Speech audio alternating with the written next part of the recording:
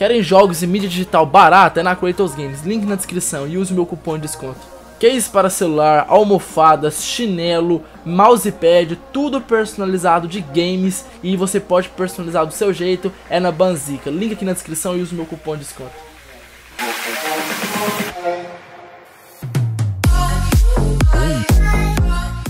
Fala aí galera, beleza? Guzik de volta com mais um vídeo pra vocês E hoje galera eu trago aqui mais algumas infos, certo?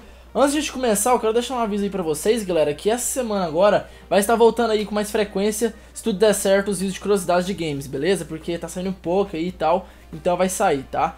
E antes de ir pro vídeo, como sempre, já vai se inscrevendo embaixo se você é novo pra não perder nenhum vídeo que sai aqui todos os dias Ativando o sino lá pra não ser para não perder a notificação, né, quando os vídeos novos saíram, eu já ia falando errado. Depois aqui embaixo vamos chapar o dedinho no gostei e vamos para as informações de hoje.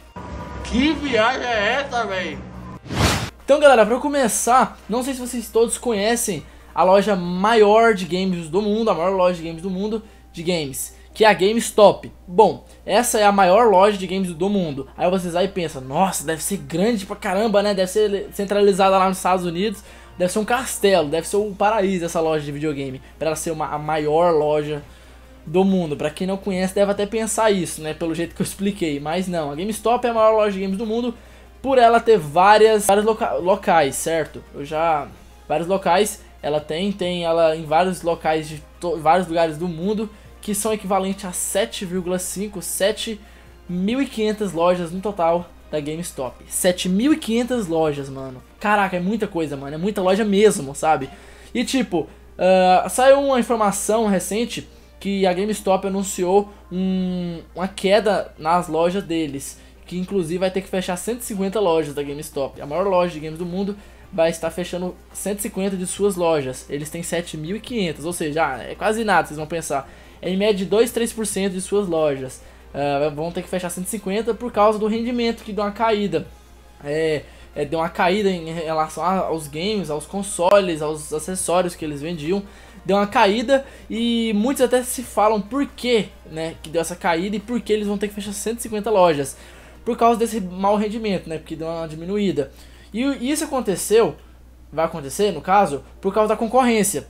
O Walmart, a Best Buy, Toys R Us, Target, e outras lojas bem grandes que tem nesses lugares, do, vários lugares do mundo.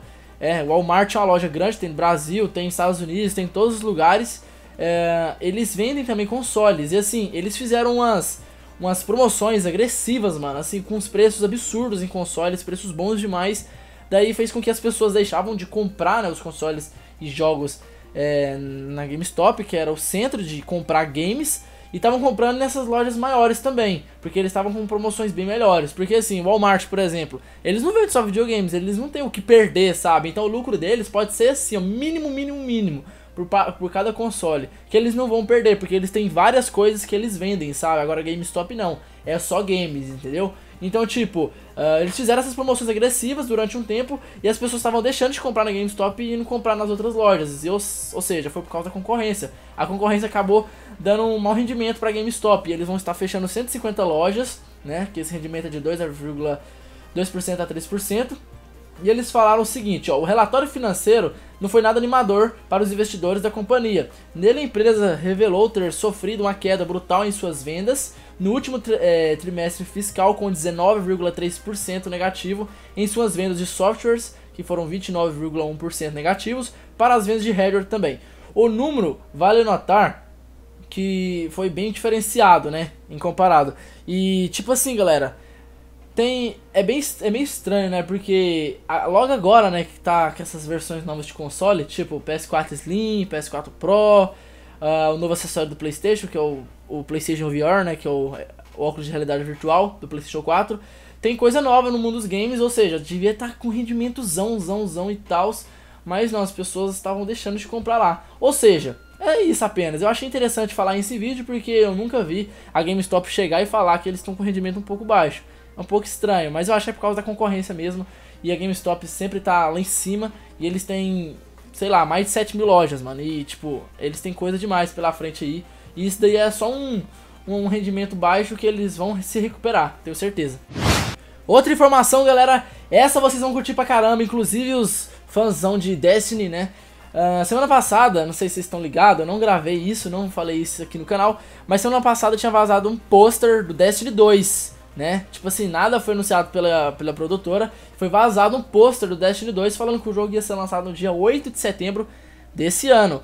Ou seja, olha tanto que isso foi coincidência, né? Hoje, no dia 27 de março, vem a produtora e anuncia no seu Twitter oficial, que é o Twitter Destiny The Game, anuncia uma foto, uma foto postando no Twitter uma foto escrito Destiny 2. Destiny 2 vai, vai ser lançado uh, no final deste ano, certo? Ou seja, galera, é bem coincidência, né? Vazou o post semana passada, essa semana vai e eles anunciam o Destiny 2, que é oficial mesmo, mas eles não relataram nada de informações, tipo assim, data, quando vai ser lançado, quais os consoles que ele vai ser lançado, tipo, ah, vai ser exclusivo só PS4 ou vai ser para Xbox One, PS4 e PC.